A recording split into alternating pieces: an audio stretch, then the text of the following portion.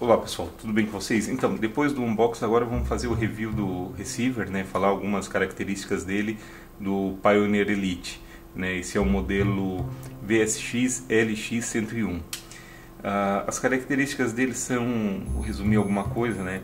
Ele tem 7 canais de 140 watts. Ele possui o HDCP é, 2.2, né? Que é a última versão que saiu ele tem entrada para fono, né, entrada para toca-discos. Uh, Dolby DTS, Dolby DTS Atmos e DTS X-Raid, né? Uh, 7.2 canais, ou seja, ele tem 7 canais e 2 subwoofers, né? A potência dele fica assim, em 8 ohms ele fica 80 watts. Uh, em 6 ohms ele fica 140 watts e em 4 ohms ele fica 160 watts. Uh, o consumo médio de energia dele é em torno de 500 watts é, em funcionamento e em standby 0,1 watts. Ele possui internet wireless, internet cabeada, né?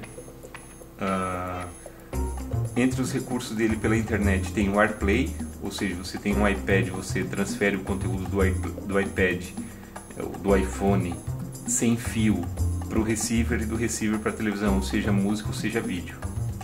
Uh, ele também tem um Chromecast embutido dentro dele, né? Que isso é, é recurso, acho que só da linha Elite.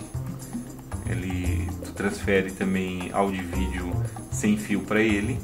Ele possui o tuning em rádio, Pandora, uh, faz stream de áudio de qualquer PC é, sem fio para ele, né? ou seja, você tem um PC com Windows 10, ele no, no, no projetar tela do Windows 10 você transfere não o vídeo, mas o áudio para ele sem fio, né? Você consegue fazer transmissão de áudio. Pela entrada USB eu consigo reproduzir High Resolution áudio né, que são aqueles áudios de 96K, uh, MP3, WMA, AAC, Apollo LES, Wave, FLAC, o AIF e o DSD. Uh, ah, o Chromecast ele tem atualizações futuras, o que tiver de, de melhorias no sistema Chromecast ele vai atualizando automaticamente via atualizações online, né? É, que mais? Vamos lá. É, tem Dolby Atmos, Dolby True HD, é, Dolby Digital Plus, Dolby Surround, DTS X, DTS New X, DTS Natural Sound X, é, DTS HD Master, é, Super Audio CD multicanal, né? ou seja, você consegue dividir os canais na saída dele para o Super Audio CD, né? que são aqueles CDs de áudio gravados em DVDs, né? que também tem, eu acho que 48, se eu não me engano, K. Uh, ele tem a calibração do Mac Axis dele através do microfone que você coloca aqui.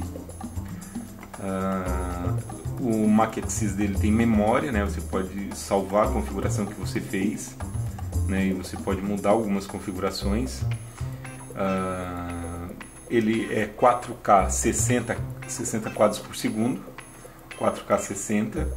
Uh, ele é 3D também, lógico, né? 3D também. E ele tem um sistema de cores pelo HDMI de 36 bits, né? Uh, com uma profundidade de cores bem grande, né? Que é o, que é o Depth Color Slim uh, e o XV Color da Pioneer. Ele também tem o Wi-Fi dele é 5 GHz e 2.4. Ele tem 6 HDMI traseiro uh, e uma saída. Entrada para fone, como eu havia dito, né, entrada analógica. Uma entrada digital para CD, né, entrada é, do tipo RCA óptica e a coaxial, tem as duas entradas. Ah, saída para fones de ouvido, saída para fones de ouvido, entrada USB frontal e uma traseira. Deixa eu ver se eu esqueci de falar alguma coisa. Não, acho que era isso aí. Acho que era isso aí. Do receiver era isso. Como é que você pode fazer o controle dele? Ah, algum, algumas funções você controla aqui pelo painel digital dele na frente. Ah, e tem Bluetooth, né? Tem Bluetooth ah, que eu havia me esquecido de falar. Retorno de áudio, confirmação dos presets, os presets, regulagem para o rádio, uh, o menu principal dele que você controla na TV, uh, o modo do, do tuning, né, da regulagem de rádio e o dimmer, né. Vamos ligar ele aqui para ver como é que é o painel. Ele, a Pioneer tem um aplicativo. Esse já é modelo 2017, ou seja, ele é Pioneer Onkyo, né? Ele é fabricado pela Onkyo, mas ainda com os projetos Pioneer, né? Uh, o aplicativo o aplicativo dele vou mostrar para vocês. É esse aqui ó remote app. Então eu consigo controlar todas as entradas que ele tem através do aplicativo num tablet ou no, no iPhone né? Eu consigo editar o nome que aparece aqui ó. O nome que aparece eu consigo editar. Eu vou trocando ó, Laserdisc então essas são as entradas.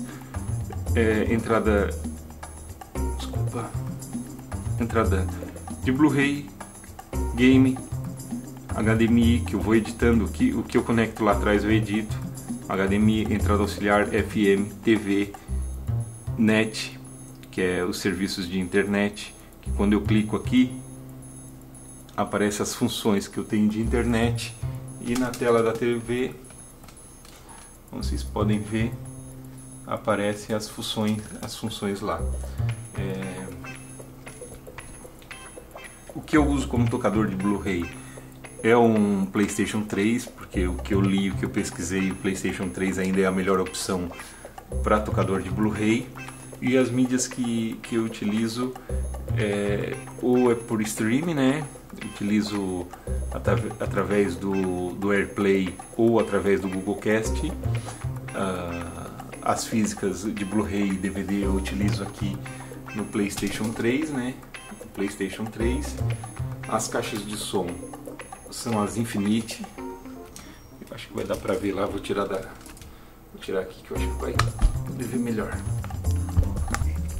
Vamos ver. Aqui. As caixas que eu utilizo são as Infinite 163.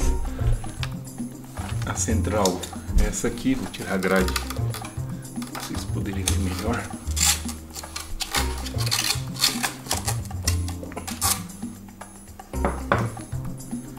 Esse modelo aqui da Infinite como central. A TV eu não consigo focar ela inteira, mas é uma Panasonic de 70 polegadas. Laterais.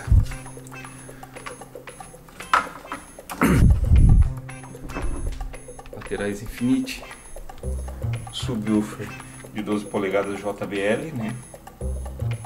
Subwoofer JBL e as traseiras JBL também, são duas cada lado.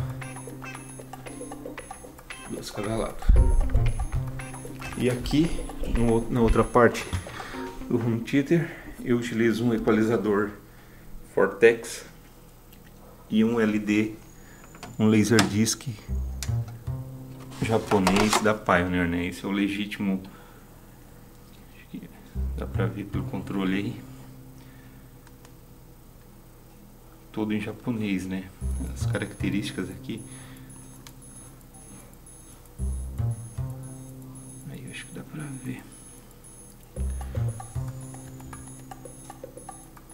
Controle todo escrito em japonês, né? E aqui não, aqui é em inglês. E esse Laserdisc eu acho que é um dos melhores que saíram até hoje, né? Bem completão. Eu tenho uma coleção bem grande de LEDs, por isso ainda conservo três, quatro aparelhos desse aqui em perfeito estado para o funcionamento. Eu uso o sistema de LED ao redor para dar um efeito para dar um efeito melhor no, nos hacks fica com esse efeito verdinho aí. Tem iluminação por debaixo do balcão atrás da TV também, como vocês podem ver. A foto do receiver aparece ali no menu. E no menu dele, deixa eu se consigo mostrar alguma coisa. Eu tenho acesso na tela, né? Um outro recurso, uma característica bem interessante desse receiver também é o seguinte: é, o que tu conecta pela entrada de vídeo composto RCA amarelinha, ele converte e faz um upscaling para 4K na saída HDMI. E isso é um recurso bem interessante que muitos outros receivers não têm esse, essa qualidade, né? não, não, não faz esse upscaling do vídeo componente é, para o HDMI ainda mais em 4K. Né? Então esse é um grande diferencial desse receiver. Bom pessoal, o meu setup é esse aí, né? Vou mostrar para vocês. TV Panasonic, caixas Infinite, Infinite frontais, né? Que é do mesmo grupo Harman é, da JBL. Subwoofer 12 polegadas JBL. E as Soundhound traseiras é, JBL também. Elas possuem quatro alto-falantes cada uma desculpa, dois alto-falantes cada uma, né, em relação desse sistema aqui. São as caixas pequenas, mas é o é mais que o ideal e mais do que o suficiente para um home theater desse tamanho aqui, né? É isso aí, pessoal. Feito um unboxing e agora a apresentação para vocês. Não botei nenhuma música, não botei nada para demonstrar porque às vezes no YouTube eles cortam o vídeo por causa desses essas coisas assim, né? De, de botar música, botar vídeo, imagem de outra sem licença. Então, tá aí o receiver Pioneer Elite, né? Da linha 2017, Onkyo, Onkyo e Pioneer, né? E já mostrei para vocês também minhas caixas de som Infinite. É isso aí, pessoal. Até o próximo vídeo. Fiquem com Deus. Um abraço.